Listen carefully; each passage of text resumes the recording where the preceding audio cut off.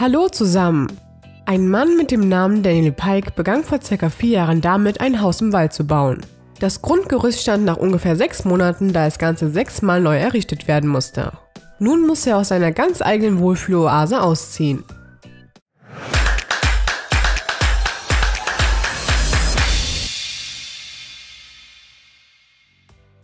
Um Strom zu erhalten, stattete er sein Lehmhaus mit Sonnenkollektoren aus. Zudem errichtete er eine Brücke, eine Kochecke, einen gemütlichen Garten und eine kleine Sitzecke. Mindestens genauso wichtig wie Strom ist natürlich auch Wasser. Hierfür baute Daniel ein Filtersystem, das reines Wasser erzeugte. Um sich zu ernähren, besuchte er immer wieder ein Geschäft, das rund zwei Meilen entfernt war. Dort erhielt er Lebensmittel, die sonst entsorgt worden wären. Er sagte in einem Video, dass er ein spiritueller und positiver Mensch ist und sich daher ideal an die besonderen Lebensumstände anpassen konnte. Teilweise waren es schwere Zeiten, die ihm geholfen haben, ein besserer Mensch zu werden. Gerade der Gedanke, dass niemand von seinem Aufenthaltsort wusste, machte ihn stolz.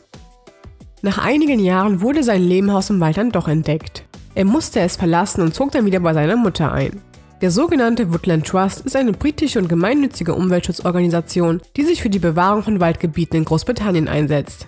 Dieser war es auch, der der Meinung war, dass das Haus abgerissen werden muss, um die Natur zu schützen.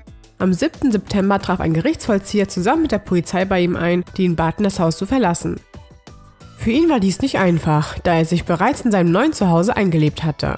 Daniel wurde vor Ort festgenommen, weil er einen Gerichtsvollzieher bei seiner Arbeit behinderte und musste daher eine Nacht auf der Polizeiwache verbringen. Er gab an, dass ihm das Leben in der Natur Freiheit gegeben hat, weil er ohne Zwänge leben konnte. Als er sein Haus räumen musste, sei mit seinem Eigentum sehr rücksichtslos umgegangen worden. Zudem konnte er sich nicht wirklich äußern und sollte so schnell es geht sein Haus verlassen. Daniel musste seine Mutter fragen, ob er bei ihr bleiben konnte, weil er nicht wusste, wo er sonst hingehen konnte. Er gab an, dass er durch die Zwangsräumung wieder in die Gesellschaft zurückgedrängt worden sei. Das hieß für ihn auch, dass er seinen alten Beruf in einem Supermarkt aufnahm, um Geld zu verdienen. Steve Marsh von der Umweltschutzorganisation Woodland Trust zeigte Verständnis für die Reaktion von Daniel und gab an, dass die Räumung nichts gegen ihn persönlich gewesen sei. Das war's für heute. Vielen Dank fürs Zusehen. Wenn du neu auf unserem Kanal bist und dir unsere Videos gefallen, dann unterstütze uns mit einem Daumen nach oben und teile dies mit deinen Freunden. Um keine weiteren interessanten Videos zu verpassen, abonniere unseren Kanal kostenlos und wir sehen uns bald wieder.